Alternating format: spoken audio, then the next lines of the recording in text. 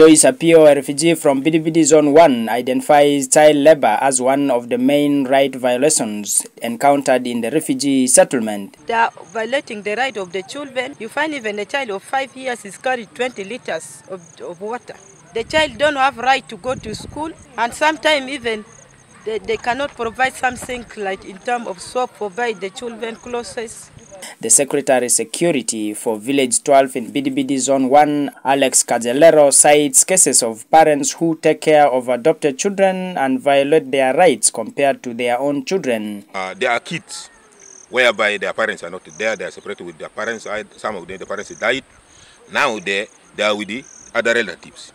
So from there, uh, the, the treatment of those kids varies from the, the, the children where they, they, they, were born with those parents.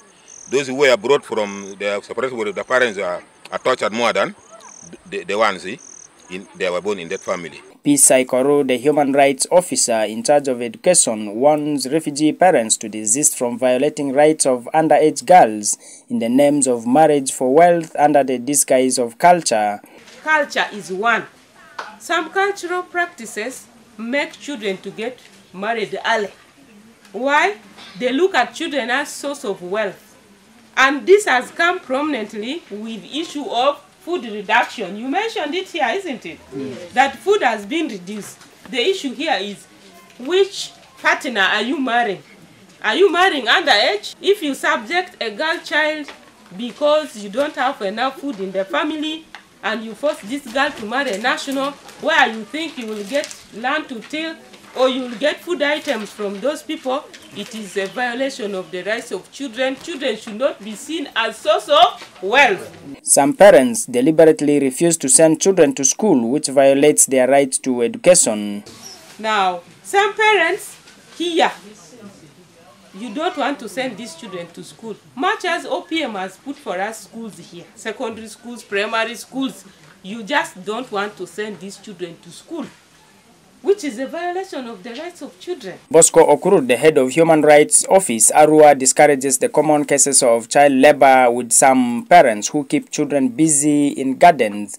Now you find that uh, the parents are making children to move around, sell water, do do whatever they are, they are, they are, they, they, they are forced to do, and against their will, all in the name of looking for food for them to support the families. And the, the issue here they are raising is that there is food reduction in the settlement. Now, as, as, as Uganda Human Rights Commission, we have always sensitized the public. We have always told uh, the, the refugees and the host communities and whoever we have gone to, the best you can do is to, to, to plan. Also, especially the education sector, whereby you, you find enrollments in schools are very low. And uh, if you're to ask them, they say that it is as a result of the what? the reduction of prioritizations. We have continued with our education partners to create sensitization, to move to the communities, talk to them, encourage them to bring these children to school.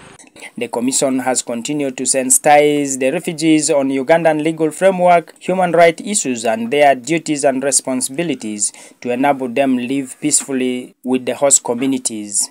Report compiled by Robert Ariaka for the news.